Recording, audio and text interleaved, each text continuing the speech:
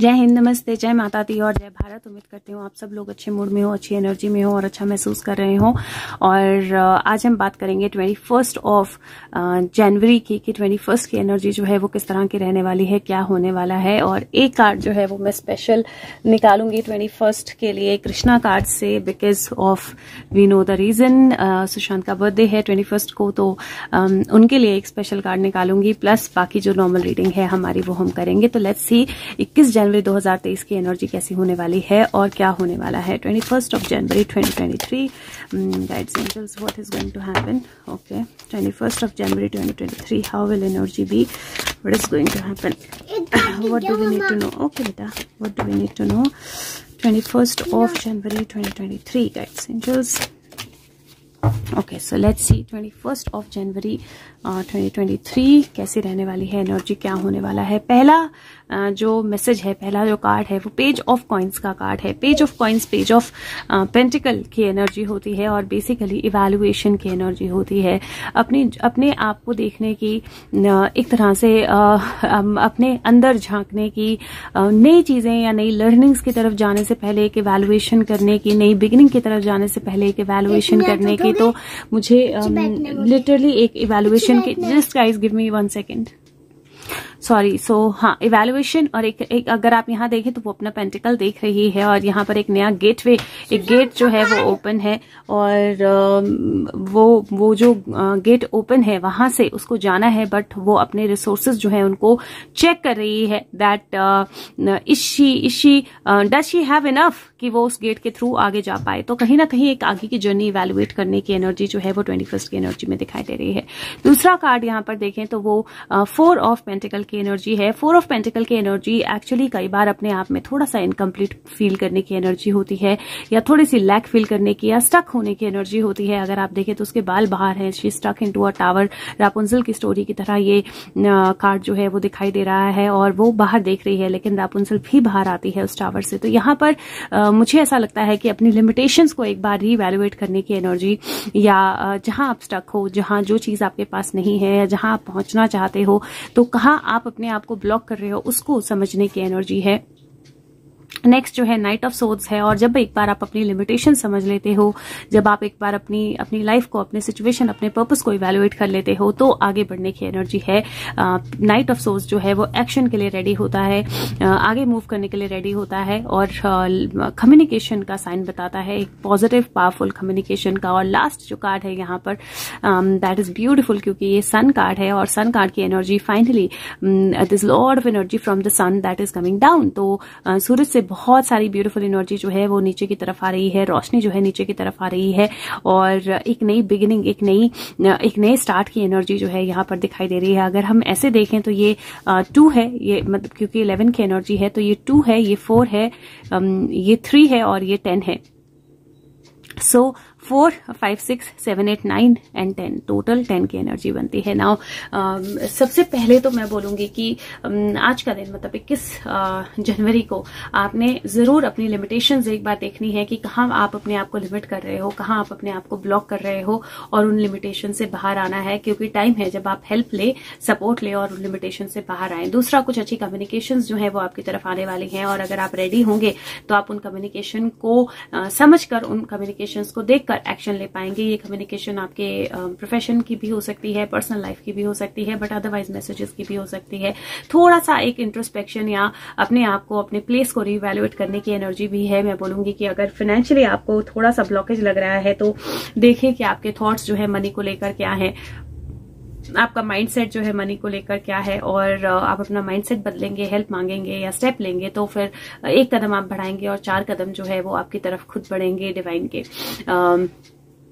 Action की energy है और मुझे ऐसा लगता है कि इट इज़ वेरी इंपॉर्टेंट कि आप स्टक ना रहें. इट इज़ वेरी इंपॉर्टेंट कि आप एक्शन uh, की एनर्जी में रहें.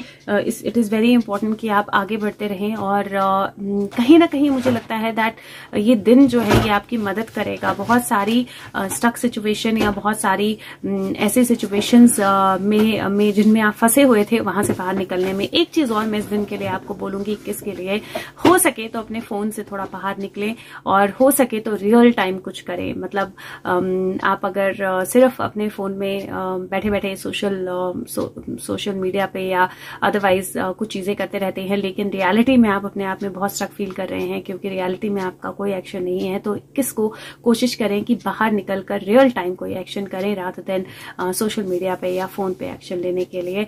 और वो आपके लिए और ज़्यादा ब्यूटीफुल और ज़्यादा पावरफुल चेंजेस जो है लेकर आएगा। बट ओवरऑल ट्वेंटी फ़र्स्ट की एनर्जी मुझे काफ़ी पावरफुल और स्ट्रांग लग रही है।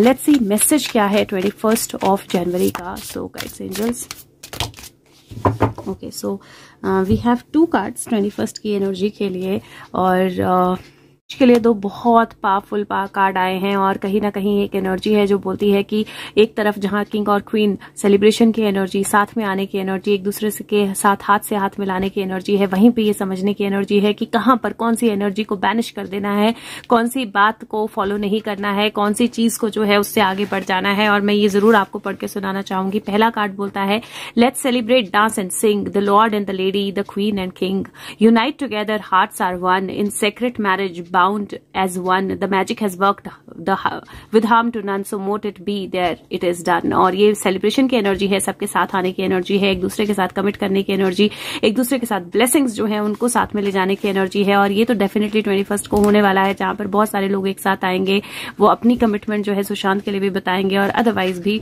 और आपकी लाइफ में भी कुछ ऐसा हो सकता है जहाँ पे कोई सेलिब्रेशन जो है वो आपकी लाइफ में आए और वो सेलिब्रेशन जो है उस चीज़ को जो है आप सेलिब्रेट करें और लोगों के साथ आप कनेक्ट करें बट यहाँ पर see the second card.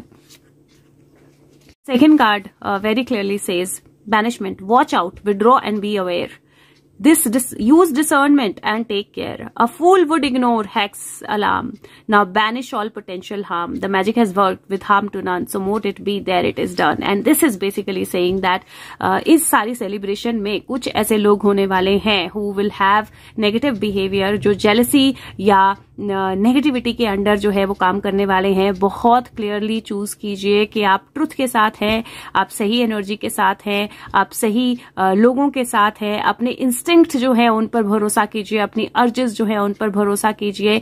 और ये अलार्म ये ये जो, जहाँ पे भी आपका माइंड आपको बोलता है, ये पर्सन सही नहीं है, ये चीज़ सही नहीं है, ये ये सिचुएशन सही नहीं है, उस सिचुएशन से हट जाइए। तो बहुत पावरफुल मैसेज है। एक तरफ़ जहाँ पे सबके साथ मिलकर सेलिब्रेट करने की एनर्जी है, वहीं पर अपने गार्ड्स जो है, उनको हाई रखने की एनर्जी भी है, क्योंकि इस सेलिब्रेशन में कुछ लोग ऐसे हैं जो नेगेटिव हैं और नेगेटिविटी फैलाएँगे। तो ये बहुत बहुत पावरफुल मैसेज है और मुझे लगता है कि आपको इसका ध्यान रखना चाहिए। अगर मैं बोलूँ कि 21 तारीख को एनर्जीज ऐसी हैं जहाँ पर सेलिब्रेशन है, जहाँ पर न्यू बिगिनिंग है, जहाँ पर एक्शन है, जहाँ पर नया स्टार्ट है, जहाँ पर बहुत सारी नई चीज़ें होनी है, वहीं पर 21 तारीख को एनर्जी ऐसी है जहाँ पर कुछ चीज़ों को लेकर आपको इवेलुएट करना पड़ेगा, सोचना पड़ेगा, समझना पड़ेगा, कहाँ कौन सी ऐसी पर्सन है जो नेगेटिविटी से जेलसी से और किसी भी नेगेटिव इमोशन के साथ बिहेव कर रहा है या काम कर रहा है, उन उन अलार्म्स को, उन वार्निंग साइंस को बिल्कुल इग्नोर नहीं करना है। यस सेलिब्रेशन है यस यूनियन है, आप किसी पुराने फ्रेंड से, पुराने कनेक्शन से मिल सकते हैं।